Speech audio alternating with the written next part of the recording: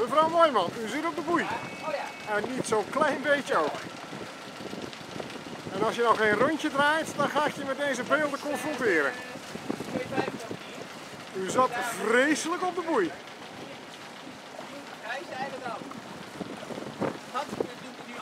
En ik zie je nog geen rondjes draaien. Je kan makkelijk rondjes draaien. hadden kunnen vrijzeilen door af te vallen.